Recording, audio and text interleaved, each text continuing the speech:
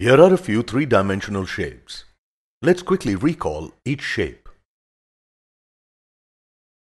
A cube has six congruent square faces.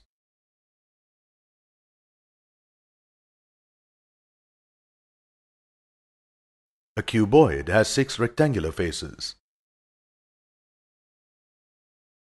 A sphere is ball-shaped and every point on its surface is equidistant from the center of the sphere. A cylinder has one curved surface and two identical flat ends that are circular. A cone is a solid shape that tapers from a circular flat base to a point.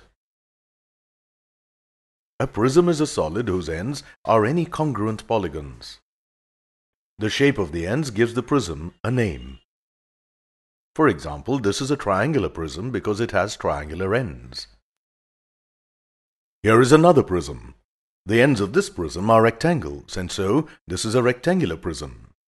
Notice that it is also called as a cuboid. Similarly, this prism has hexagonal ends, and so it is a hexagonal prism.